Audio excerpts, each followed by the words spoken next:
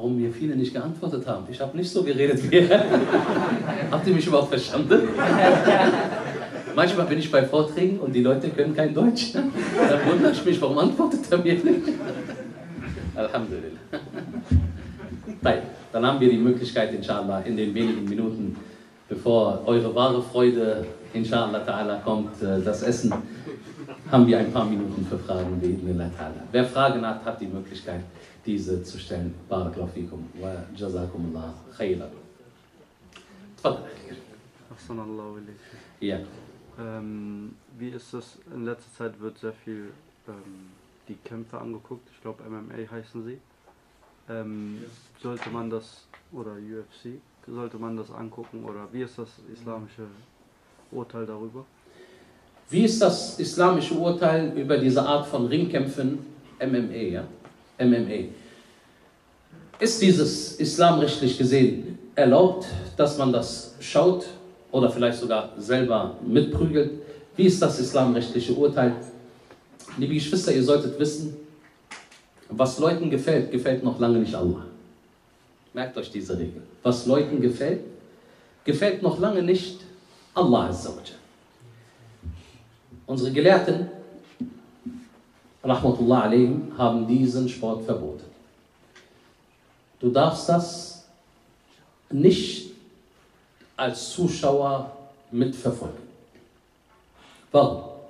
Aus einer Reihe von Gründen. Es ist nicht nur ein Verbot, es sind mehrere Verbote bei diesen Kämpfen.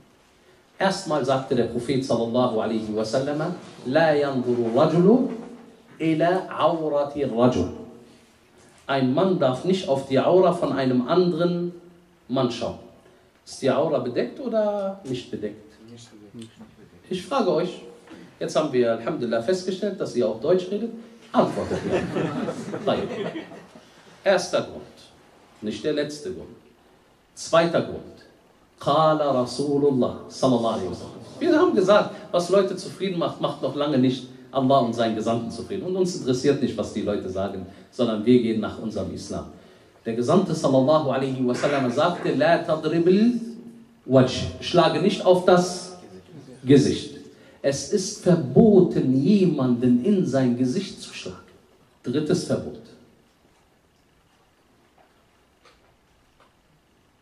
Diese Leute haben kein gutes Benehmen.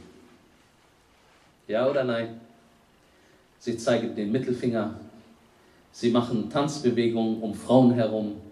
Sie machen Dinge von Su'ul Akhlaq, vom schlechten Benehmen, was ein Muslim nicht nachmachen darf.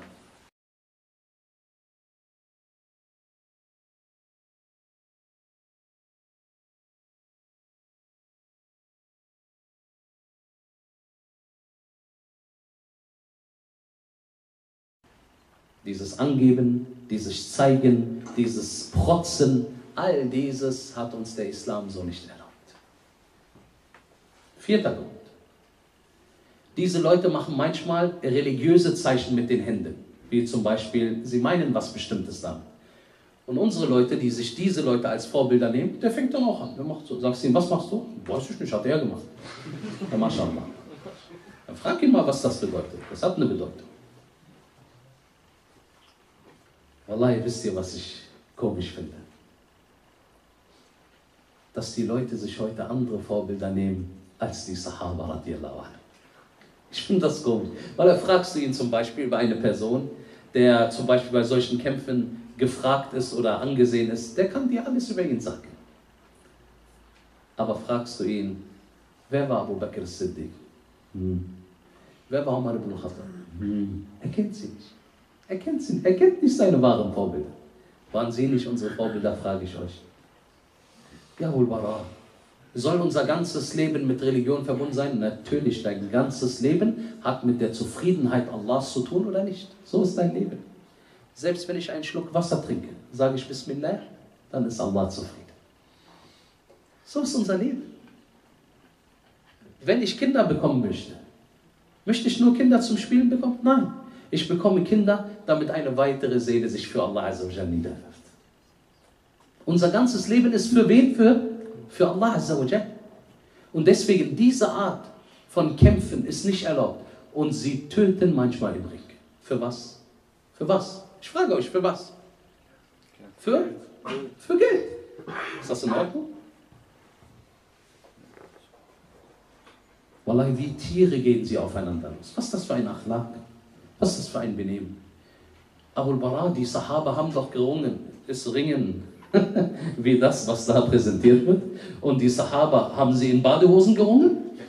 Ja? Mit einem Stern und einem Pumuckel drauf? So haben die Sahaba gerungen?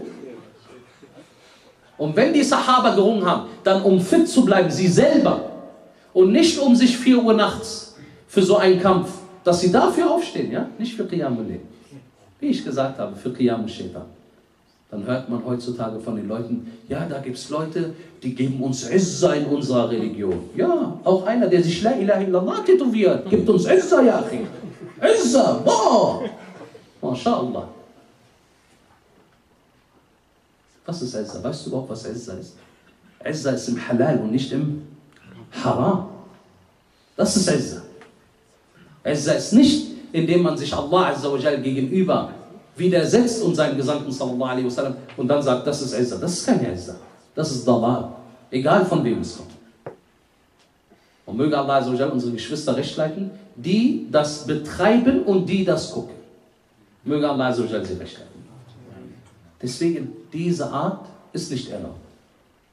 Darf man selber ringen? Ja, du kannst ringen. Aber wir haben gesagt, mit Regeln. Welche Regeln? Hä?